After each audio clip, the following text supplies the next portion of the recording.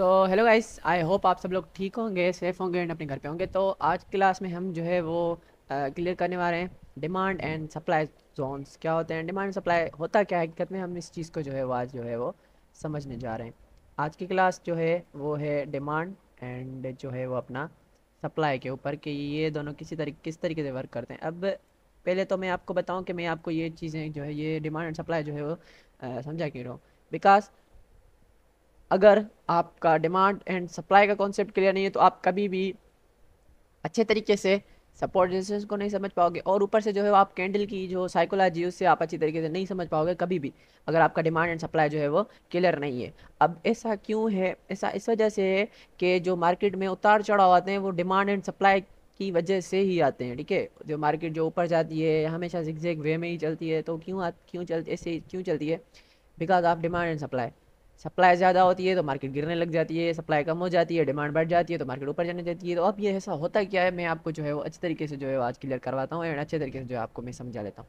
तो सबसे पहले सबसे पहले मैं आपको जो है वो एक बात बताऊँ। आप डेली लाइफ एग्ज़ाम्पल को देखकर डेली रूटीन में जो चीज़ें होती हैं, उनको देखकर भी आप डिमांड एंड सप्लाई को अच्छे तरीके से समझ सकते हो। जैसे कि मैं आपको बताऊँ, जैसे मैंने आपको कल भी, कल की क्लास में भी मैंने आपको एक एग्जांपल दिया था एप्पल का, ठीक है? मार्केट की एप्पल का मैंने जो है वो आपको एग्जांपल दिया था। अब इसी तरीके से मैं आपको जो है वो किसी और चीज़ का मैं जो है वो एग्जांपल देता हूँ।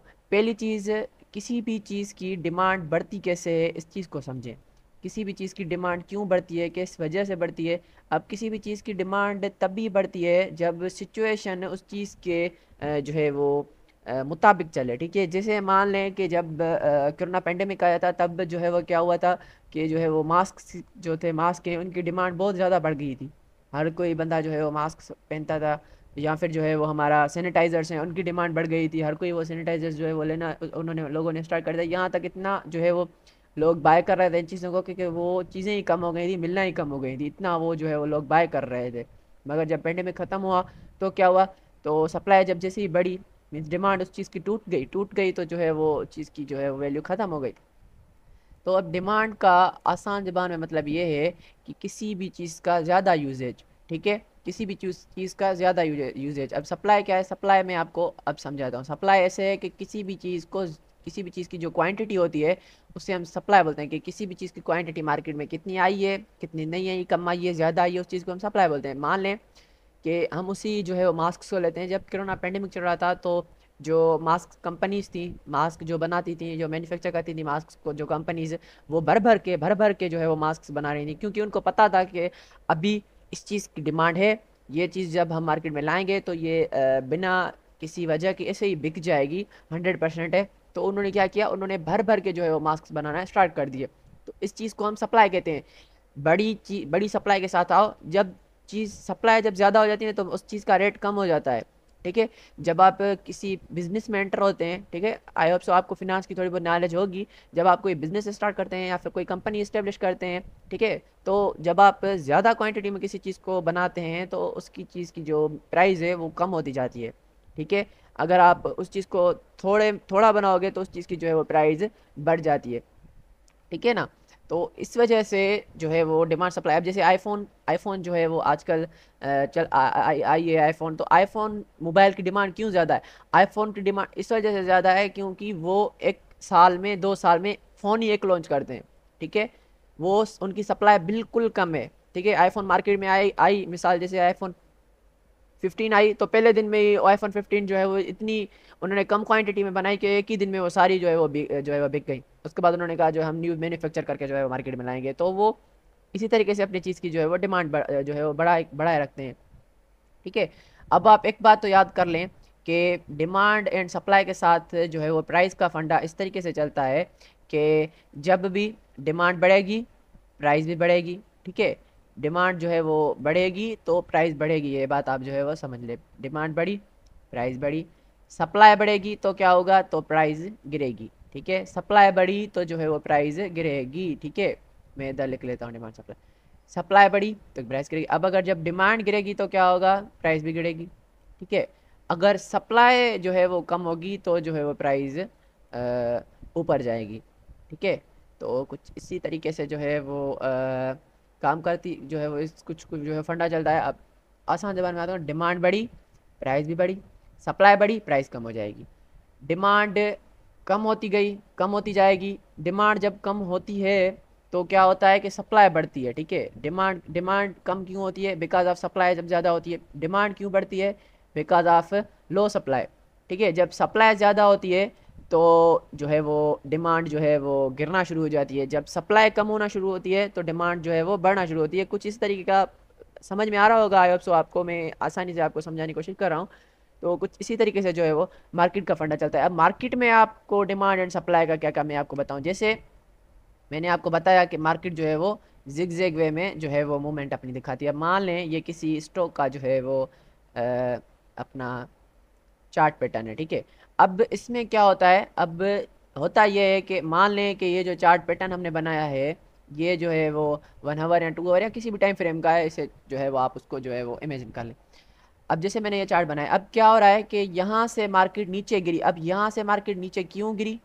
क्यों? क्योंकि यहाँ पर मार्केट की जब एक हाई पे चल रही थी, हाई पे तो वो नीचे इस वजह से गिरी क्योंकि यहाँ से मार्केट में कुछ जो है वो सेलर्स आ गए। अब एक बात आप याद रखें, डिमांड तब बढ़ती है जब बायर्स ज़्यादा हो जाएँ, ठीक है? डिमांड तब बढ़ती है जब बायर्स जो है वो ज़्यादा हो जाएँ, सप्लाई तब बढ़ती है जब सेलर्स ज़्यादा हो जाएँ।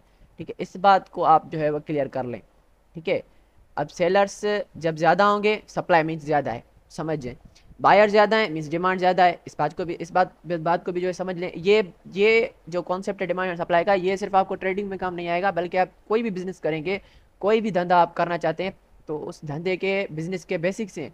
अगर ये आपके क्लियर नहीं होंगे तो आप बिज़नेस करोगे तो वो सारी ज़िंदगी छोटा ही रहेगा, ठीक है? सारी ज़िंदगी हमारे यहाँ जो भी बिज़नेस वगैरह होते हैं तो वो इसी वजह से सारी ज़िंदगी एक ही प्राइस पे वो एक ही छोटा सा प्रॉफिट बनाते रहते हैं क्योंकि उनको जो है वो रियल बिज़नेस के जो है वो कॉन्सेप्ट क्लियर नहीं होते। ठीक है? अब जब किसी भी चीज़ की डिमांड तब बढ़ती है जब बायर ज़्यादा होंगे क्योंकि जब बायर ज़्यादा होंगे तो उस चीज़, वो चीज़ जो है वो क्वांटिटी में कम हो जाएगी। ठीक है? जैसे मैं आपको बताऊँ कि अगर आप जो है वो मार्केट में टमाटोज लेने जा रहे हैं, ठीक है? आप मार्केट में टमाटोज लेने जा रहे हैं, मगर अब होता क्या है कि टमाटोज जो है वो इतने कम क्वांटिटी में कि जो है वो मिल ही नहीं रहे। ठीक है? और जो एक बंदा बेच बेच रहा है सिर्फ़ उसके पास है ठीक है? मान लें कि पाँच जो है वो बंदे खरीदने वाले हैं और एक जो है वो बेचने वाला है ठीक है? एक बंदा बेचने वाला है पाँच बंदे खरीदने वाले हैं तो जो एक बेचने वाला है क्योंकि वो एक है तो वो उन पाँच पाँच को जो है वो जो चीज़ देगा वो अपनी प्राइस पे देगा। बोलेगा वो सामने वाला क्योंकि देख रहा है ना कि पाँच खरीदने वाले हैं इनको ज़रूरत है ये खरीदेंगे तो अपनी प्राइस पे बेचेगा। जितनी प्राइस चाहे वो उस उस, प्राइस को इतना रख के जो है वो बेच सकता है। मगर अगर ऐसा हो कि खरीदने वाला एक को और जो है वो बेचने वाले पाँच हों तो क्या होगा? जो बेचने वाले पाँच होंगे, वो उस एक बंदे को बोलेंगे, क्योंकि सामने एक बंदा है खरीदने वाला। एक बंदे को बोलेंगे कि जितनी प्राइस में तुम्हें लेना है, हमें दो, मगर जो है वो हमारे से खरीदो। पाँच बंदे बोलेंगे कि ये हमसे खरीदे या जो है वो हर कोई बोलेगा हमसे खरीदे तो वो कम प्राइस में भी उसे दे देंगे। तो इसी वजह से जो है वो ऐसा कुछ चलता है। अब जब जहाँ पर मार्केट में सेलर्स आए, ठीक है, यहाँ पर मार्केट में सेलर्स आए, अब जब सेलर्स मार्केट में आए तो सप्लाई बढ़ गई। सप्लाई बढ़ गई तो क्या हुआ? मार्केट रेड कैंडल्स बनाना स्टार्ट कर दी रेड कैंडल्स बनाना स्टार्ट हो गई तो क्या हुआ? मार्केट गिरना शुरू हो गई। जब यहाँ तक गिरी तो मार्केट में, अब मार्केट में मैं आपको जो है बेसिक कॉन्सेप्ट बताता हूँ। मार्केट की ऊपर की साइड सेलर्स बैठे होते हैं, ठीक है? मार्केट की ऊपर की साइड सेलर्स बैठे होते हैं और मार्केट की नीचे की साइड जो है वो बायर्स बैठे होते हैं, ठीक है? ट्रेडिंग में ये कॉन्सेप्ट जो है वो सिंपल है, मैं आपको बता रहा हूँ। ऊपर की साइड सेलर्स नीचे की साइड बायर्स अब क्या होगा? जब मार्केट जब भी ऊपर जाती है मार्केट जब भी ऊपर जाती है तो ऊपर से जब सेलर्स सेलिंग करना स्टार्ट करते हैं तो मार्केट नीचे गिरना शुरू होती है। और जब भी मार्केट नीचे आ जाती है तो बायर्स जब बाय करना शुरू करते हैं तो मार्केट जो है फिर से ऊपर उठना शुरू हो जाती है। तो सारी मार्केट का जो है फंडा कुछ इसी तरीके से चलता है। अब जब मार्केट में जो है वो अपने जो है वो सेलर्स ज़्यादा होते हैं मार्केट में सेलर ज़्यादा होते हैं तो वो मार्केट गिरना शुरू कर देती है ठीक है? मार्केट गिरना शुरू कर देती है। क्यों? क्योंकि जो है वो सेलर जब ज़्यादा होते हैं तो सप्लाई ज़्यादा होती है। मीन्स वो जो स्टॉक का स्टॉक की जो क्वांटिटी होती है वो ज़्यादा हो जाती है और जो है वो बाय करने वाले जो बाइंग बायर्स होते हैं उन जो है वो कम होते हैं। तो उस वजह से जो है वो आ, इतना जो है वो ज़्यादा फोर्स नहीं चलता मार्केट पर मार्केट गिरना शुरू हो जाती है। अब मैंने जिस तरीके से ये बनाया है मैंने जो है वो एक चार्ट बनाया हुआ है। ये चार्ट तो अब मैं इसको इसको आप अच्छे तरीके से देखें और समझने की कोशिश करें। जब मार्केट फिर से उठकर यहाँ तक आ गई, अब यहाँ पर क्या होगा? सेलर्स अब अब सेलर्स भी जो बायर्स होते हैं वही सेलर्स बनते हैं, जो सेलर्स होते हैं वही बायर्स बनते हैं। अब ये कैसे होता है? अब मार्केट जब यहाँ पर थी तो यहाँ पर मान लें कि जो है वो प्राइस चल रही थी पचास रुपये ठीक है? किसी भी स्टॉक की जो है वो वन शेयर की प्राइस पचास रुपये चल रही थी। अब जब मार्केट यहाँ पर आई तो यहाँ से जो बाय जो है वो लोग हैं, उन्होंने ख़रीदना शुरू कर दिया उस स्टॉक को, उस स्टॉक को बाय करना शुरू कर दिया, ठीक है? तो जब उन्होंने बाय किया तो मार्केट ऊपर उठना शुरू होगी। उठना क्यों शुरू होगी? जब जितने लोग जहाँ पर ज़्यादा ख़रीदारी करेंगे तो वहाँ का जो बेचने वाला होगा, वो बोलेगा कि इतने सारे लोग जो है वो ख़रीदने आ रहे हैं तो अब प्राइस को बढ़ाते हैं प्राइस को बढ़ाते हैं प्राइस को बढ़ाते हैं प्राइस बढ़ना शुरू हो जाती है। अब जब यहाँ पर आई मार्केट तो यहाँ पर जो है वो हंड्रेड रुपीज़ जब प्राइस हो गई। मान पचास रुपये देगी वो बढ़ गई? ऊपर आई। तो मीन्स हंड्रेड रुपीज़ प्राइस हो गई। अब जब यहाँ पर मार्केट की मार्केट में शेयर की प्राइस हंड्रेड रुपीज़ हो गई तो जो, जिन्होंने पचास रुपये में शेयर खरीदा था, वो इधर हंड्रेड रुपीज़ में हंड्रेड रुपीज़ में जो है वो अपना जो है सेल करना स्टार्ट करेंगे, क्योंकि उनको पचास पे पचास जो है वो फ़ायदा हो रहा है। ठीक है? क्योंकि उन्होंने पचास रुपये में ख़रीदा, अब वो पचास रुपये में सेल करें मीन्स उनका पैसा डबल हो गया और इस वजह से जो है वो यहाँ पर सेल करना शुरू करेंगे। सेल करना शुरू करेंगे तो मार्केट फिर से गिरना शुरू हो जाएगी और मार्केट गिर के जो है वो फिर से जो है वो अपने लो को टच करेगी। ठीक है? मार्केट का यही फंडा चलता है। मार्केट जब भी ऊपर जाएगी तो वो हंड्रेड परसेंट गिरेगी। क्योंकि जहाँ से मार्केट उठती है, वहीं पर आकर गिरती है, ये मार्केट का फंडा है। और ये बात तो आप क्लियर कर ही लीजिएगा कि ऊपर मार्केट के सेलर्स होते हैं और नीचे जो है वो बायर्स बैठे रहते हैं।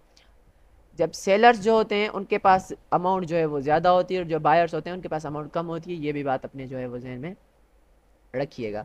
अब चलते हैं जो है वो ट्रेडिंग व्यू पे और मैं जो है वो आपको जो है वो दिखाता हूँ। ठीक है? ये हम जो है वो ट्रेडिंग व्यू पे आ गए।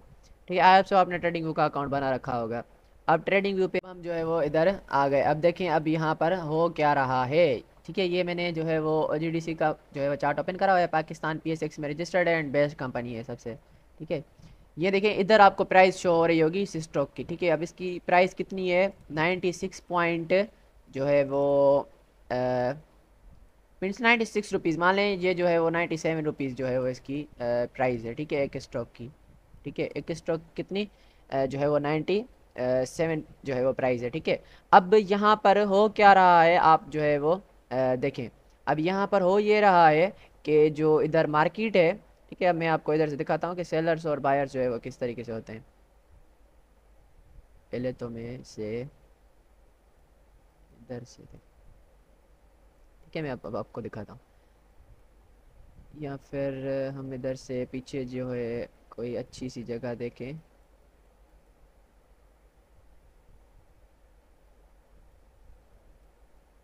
हाँ यहाँ पर मार्केट जो है वो स्टेबल चली है तो हम इधर से समझते हैं। देखें अब। अब यहाँ पर हो क्या रहा था, अब आप देखें। अब इधर से मार्केट जो है वो फ्लक्चुएशन करती करती करती आ रही थी। अब यहाँ पर क्या हुआ? यहाँ पर पहले देखें यहाँ पर एक जो है वो मैं आपको दिखाता हूँ। ये इधर एक जो है वो आ, अपना इधर जो है वो एक सपोर्ट है ये रेजिस्टेंस है। अब सपोर्ट और रेजिस्टेंस क्या है मैं कल की क्लास में आपको समझाऊँगा। पहले मैं ये जो कॉन्सेप्ट आपको आपको क्लियर ये मान लें लो है एंड ये जो है हाई पॉइंट है ठीक है? अब यहाँ पर हो क्या रहा है? ठीक है अब यहाँ पर आप इस चीज़ को समझें। अब यहाँ पर हो रही ये रहा है कि मैंने आपको बताया कि ऊपर जो है वो कौन होते हैं? ऊपर जो है वो आ, सेलर्स हमारे जो है वो बैठे रहते हैं ठीक है? सेलर्स और नीचे कौन बैठे रहते हैं बायर्स बैठे रहते हैं ठीक है? अब बायर्स क्या करते हैं? बाय करते हैं। अब जब भी यहाँ पर बाइंग हो रही है नीचे से तो मार्केट जो है वो ऊपर जा रही है ठीक है? अब यहाँ पर जैसे बाइंग बढ़ गई तो मार्केट जो है ऊपर जो है कंटिन्यू जो है ऊपर जाना शुरू हो गई। मगर अब मान लें कि यहाँ पर मार्केट आई, अब यहाँ पर मार्केट में क्या हुआ कि जो है वो सेलर्स ने सेल करना शुरू किया। अब जिन जिस भी, जिन भी बंदों ने इधर बाय किया होगा, ठीक है, अब यहाँ पर कितना चल रहा है? थर्टी एट रुपीज़ जो है वो शेयर की प्राइस है। इधर जिन्होंने बाय करा होगा, वो यहाँ पर जब आए होंगे तो यहाँ पर कितना हो गया? जो है वो एटी एट रुपीज़ की जो है वो इधर शेयर्स हो गया। इधर आपको जो है वो प्राइस जो है वो शो हो रही होंगी। ठीक है? एटी एट रुपीज़ जब शेयर हो गया तो जो है वो सबने सेल करना शुरू किया। अब जब सेल करना शुरू किया तो सेल जब लोग करेंगे तो क्या होगा? शेयर बहुत ज़्यादा क्वांटिटी में हो जाएगा। ज़्यादा क्वांटिटी में हो गया तो मतलब क्या हुआ कि मतलब सप्लाई बढ़ गई। जब भी अब सप्लाई बढ़ेगी तो क्या होगा? शेयर नीचे गिरना शुरू हो जाएगा। प्राइस नीचे गिरना गिरना गिरना, गिरते गिरते यहाँ तक आ गई। अब फिर से यहाँ पर जो है वो लोगों ने बाय करना स्टार्ट किया। बाय मीन्स जब ज़्यादा कर रहे हैं लोग तो क्या हो रहा है कि डिमांड बढ़ रही है उस चीज़ की। डिमांड बढ़ रही है, जो सेल करने वाले हैं, वो अब कम हो गए, क्योंकि उन्होंने सब जो जिन्होंने बाय किया होगा, वो उन्होंने इधर सेल किया होगा। अब जो यहाँ पर सेल करने वाले जो है वो कम हो गए बाय करने वाले ज़्यादा हो गए तो अब यहाँ पर क्या हो रहा है? डिमांड बढ़ है। और जब डिमांड बढ़ना शुरू हो गई तो मार्केट ऊपर जाना शुरू हो जाएगी और जो है वो ये इधर से ऊपर चली गई है। तो इसी तरीके से जो है वो मार्केट जो है वो वर्क करती है, ठीक है? और ये बात आप याद अपने जहन में बिठा लें कि ऊपर बायर्स ऊपर जो है सेलर्स होते हैं और नीचे जो है वो बायर्स होते हैं और डिमांड एंड सप्लाई इसी तरीके से जो है वर्क करती है। और जो मार्केट में ये फ्लक्चुएशंस आती हैं, ऊपर चढ़ाओ नीचे गिराओ ये सारी जो फ्लक्चुएशंस होती हैं, ये जो है वो अपने डिमांड एंड सप्लाई की वजह से आती हैं। जब सप्लाई जो है वो ज़्यादा होना शुरू हो जाती है, ठीक है? यहाँ पर जो ये एक कैंडल भी बन रही है ना, एक कैंडल ये जो एक कैंडल भी बन रही है ना, ये एक कैंडल भी डिमांड एंड सप्लाई की वजह से हो रही है। ठीक है? अब डिमांड एंड सप्लाई की वजह से कैसे हो रही है? मैं आपको दिखाऊँ कि डिमांड एंड सप्लाई की वजह से जो है वो इस इस वजह से हो रही है, मैं आपको दिखाता हूँ। अब यहाँ पर गिर, पहले देखें ग्रीन कैंडल बन रही थी, ठीक है? ग्रीन कैंडल अब यहाँ तक बनी, ठीक है? यहाँ तक मीन्स कुछ लोग होंगे जो छोटी छोटी प्राइस से जो है वो उन्होंने बाइंग की होगी, ठीक है? छोटी छोटी कम कम प्राइस से जो है उन्हें, उन्होंने बाइंग की होगी छोटे छोटे लॉट्स लिए होंगे। ठीक है? तो ग्रीन कैंडल यहाँ तक बनी। मगर फिर यहाँ पर क्या हुआ होगा? कि क्या हुआ होगा? जिन्होंने यहाँ पर छोटे छोटे प्राइस में बाय करा होगा, अब यहाँ पर उनके पैसे जो है वो डबल होना स्टार्ट हो जाए, हो गए होंगे। यहाँ पर जिन्होंने बाय करा, उनकी जो है वो नाइन्टी सेवन रुपीज़ मीन्स एक रुपये में उन्होंने ख़रीदा। अब उनके जो है वो एटी नाइन रुपीज़ मीन्स दो रुपये हो गए, पैसा उनका डबल हो गया तो उन्होंने इधर जो है वो सेल करना शुरू किया। सेल करना शुरू किया तो क्या हुआ, जो ग्रीन कैंडल बन रही थी, वो उधर से जो है उसने रिटर्न ले लिया रिवर्स ले लिया और यहाँ पर आके जो है वो उसने अपनी एक क्लोजिंग दे दी। एंड उसके बाद एक डोजी कैंडल बनी। उसके बाद जो जिन्होंने भी अपना जो है वो ख़रीदा होगा, इधर या फिर इधर या फिर इधर जिन्होंने ख़रीदा होगा, उन्होंने इधर सेल करना शुरू कर दिया होगा। अब सेल जब जब करेंगे तो क्या होगा सप्लाई बढ़ेगी। और सप्लाई के बढ़ने की वजह से क्या हुआ? इधर एक रेड कैंडल बनी, ठीक है? मेरे पास पल पर मीन्स रेड कैंडल है। रेड कैंडल बनी, फिर से थोड़ी बाइंग हुई, फिर से थोड़ी सेलिंग बाइंग सेलिंग इसी तरीके से कैंडल्स बनती जाती हैं। जब भी सेलिंग जो है वो ज़्यादा होती है तो हमारी रेड कैंडल बनती है और बाइंग जब भी ज़्यादा होती है तो जो है वो हमारी ग्रीन कैंडल बनती है। तो इसी तरीके से मार्केट का कुछ फंडा ये जो है वह करता है। आई होप सो आपको ये कॉन्सेप्ट क्लियर हो चुका होगा। अगर फिर भी नहीं हुआ तो आप मुझसे पूछें। मैं आपको जो है वो अच्छे तरीके से क्लियर करा दूँगा। ठीक है कमेंट बॉक्स में या फिर आप जो है मुझे व्हाट्सअप पे भी पूछ सकते हैं अदरवाइज़ इंस्टाग्राम पे भी मैं अवेलेबल हूँ। आप जहाँ भी मुझे पूछ सकते हैं, जो है मैं आपको क्लियर करा दूँगा, ठीक है? एंड चैनल को सब्सक्राइब करें, क्योंकि इस ट्रेडिंग के कोर्स के बाद फ्रीलांसिंग का कोर्स भी आने वाला है और फ्रीलांसिंग के कोर्स के बाद डिजिटल मार्केटिंग का कोर्स भी आएगा। देन उसके बाद जो है वो ग्राफिक डिज़ाइनिंग वीडियो एडिटिंग और ये सारे कोर्सेज भी जो है वो आने वाले हैं। एंड वेब डिज़ाइनिंग का कोर्स भी आने वाला है कुछ दिनों में। तो ये सारे कोर्सेज जल्दी आएँगे। इसलिए हमें चैनल को जो है वो सब्सक्राइब कीजिए एंड अपने दोस्तों के साथ शेयर कीजिए और जो है खुद भी सीखिए और दूसरों के भी जो है वो सीखने का मौका दीजिए। एंड आई होप आपको क्लियर हो चुका होगा, मैंने आपको जो है वो आसानी से समझाया। अदरवाइज़ आप ट्रेडिंग व्यू को डाउनलोड करें, उसमें अपना अकाउंट बनाएँ एंड जो है वो प्रैक्टिस करें, थोड़ा कैंडल्स वगैरह को देखें और इन कॉन्सेप्ट को समझने की कोशिश करें, क्योंकि ये बेसिक्स हैं। अगर आपने इन बेसिक्स को अच्छे तरीके से समझ लिया देन आपको ट्रेडिंग में प्रॉफिट करने से कोई भी नहीं रोकेगा। Thank you bye tata.